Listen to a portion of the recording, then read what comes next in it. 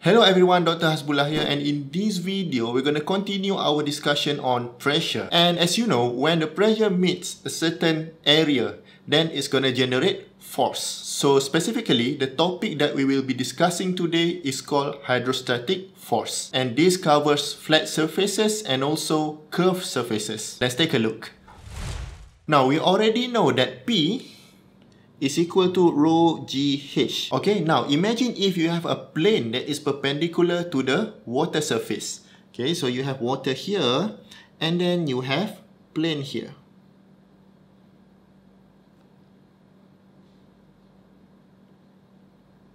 And this is your water level. Now, because pressure is equal to rho GH, we know that pressure here is zero. And then as we go deeper, the pressure is gonna increase.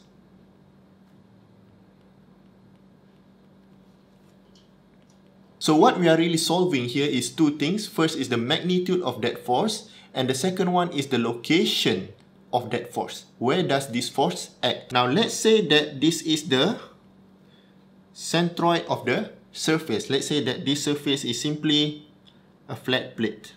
Okay, this is the side view of the surface and it's just a flat plate. Okay, so this will be the centroid.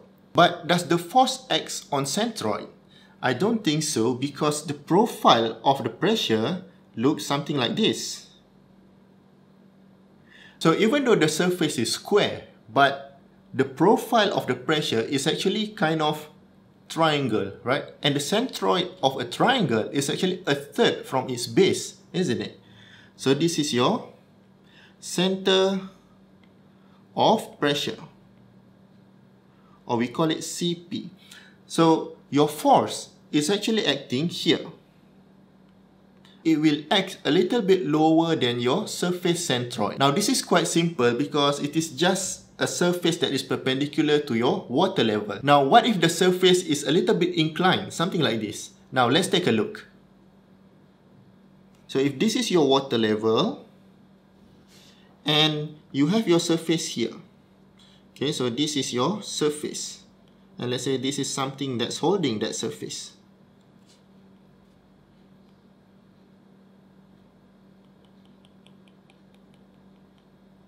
And you have water here.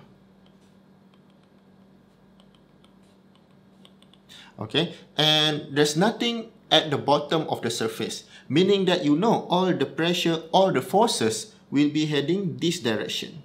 Okay, but let's erase that first because we're gonna have a look at that later. Now, there are a few things that you need to look for when you have this sort of problem. And first, of course, I told you before is the magnitude of the force. And the second thing is the location and we're going to try to find it one by one. First, let's take a look at how to find the magnitude. But before that, let me label everything. So this is the inclined angle, which is alpha. And let's say that your surface is a random shape. Okay, so it looks something like this.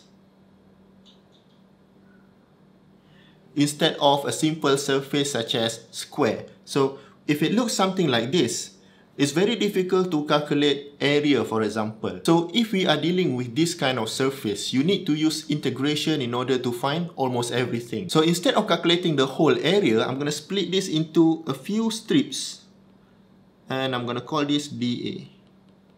Okay, so this is dA. And therefore, at the side of the surface here, this is your dA. And we know that the relationship between force and area is simply force equal to pressure times area. Okay, so if pressure is rho GH, then force is rho GH times A.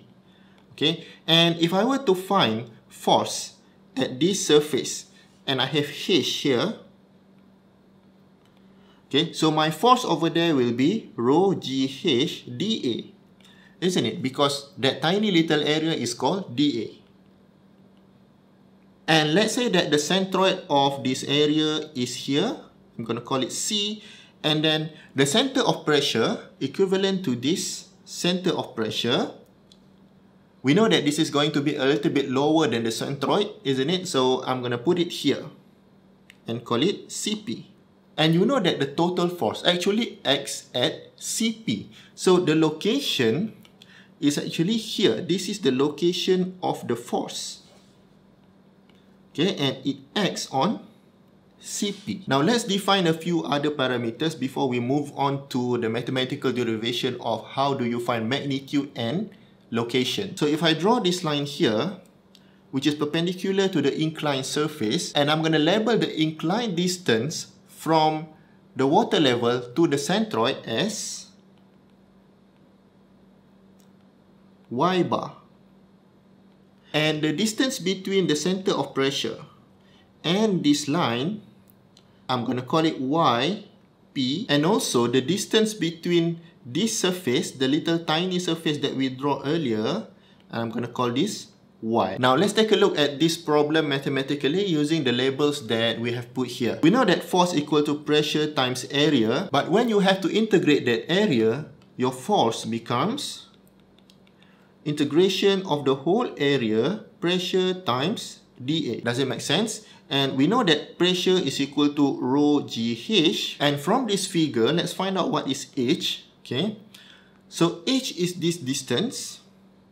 So if I draw a triangle, so this will be your H and this is your alpha and this is your Y, isn't it?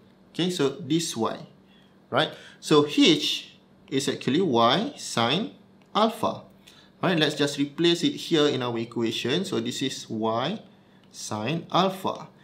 So immediately pressure becomes rho g y sine alpha. So F becomes integration of A rho g y sine alpha dA.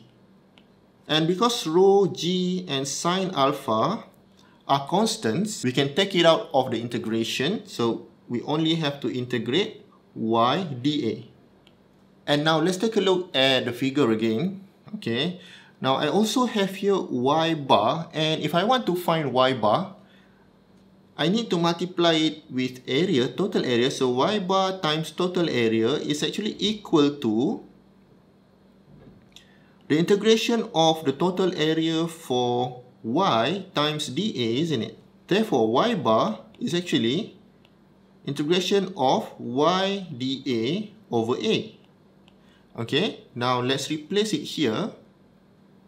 So y bar, let me write it again, equal to 1 over a integration for the whole area y dA. Okay, do you notice the similarity here? So basically, you can just replace integration of y dA into rho g sine alpha y bar times a. Okay, and y bar sine alpha, let's take a look at this.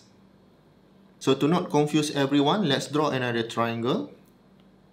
Okay, now this is your alpha and this is your y bar. Okay, so what will be this side? This side will be h bar. So h bar is the vertical distance from the water level to the centroid of the area, is the vertical distance. So y bar sine alpha equal to h bar. And I'm going to replace it here with rho g h bar area. And I'm going to call rho g h bar as pressure at centroid. Can I do that? So force in the end becomes pressure at centroid times area. Okay, and this is actually very important because we just solved one element of the problem, which is the magnitude. So the magnitude of the force acting on a plane is actually pressure at the centroid times area. But even though the way to find the magnitude is by using the pressure at the centroid, we know that the force does not act at the centroid. The force acts a little bit lower than the centroid, which is called center of pressure. Now that we've handled magnitude, let's take a look at how to find the location. Specifically, how do we find YP? Now let's figure out how we can find YP.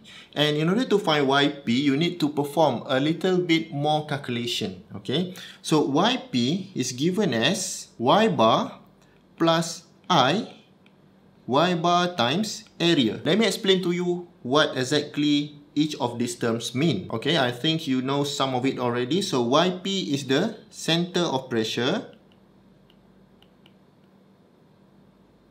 Y bar is the centroid. And this is also centroid. A is the area of the surface, so surface area. And I is called the second moment of area.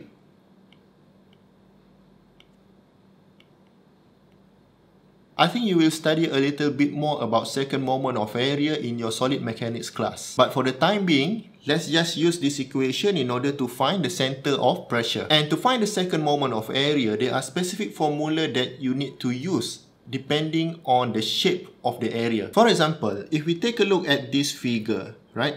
If the area is square or rectangular, then the second moment of area is given as BH cube over 12. And let's say the surface is triangle, then I is equal to BH cube over 36. And for circle, it is pi d to the power of 4 divided by 64. And so does semicircle, ellipse and semi-ellipse. So each of these shapes has its own formula for second moment. However, for example, for rectangular shape, okay, we know that the equation is BH cube over 12 isn't it? So which one is B and which one is H? Now back to our figure here, we know that I for rectangle is BH cube over 12. Now let's say, for example, that this surface is rectangle. Okay, let's say that this surface is now rectangle. Okay, it looks something like this. And which edge is B and which edge is H? Okay, so what happens is that the edge that the force cuts into. For example, the force cuts into this edge, right? It cuts into this edge, right?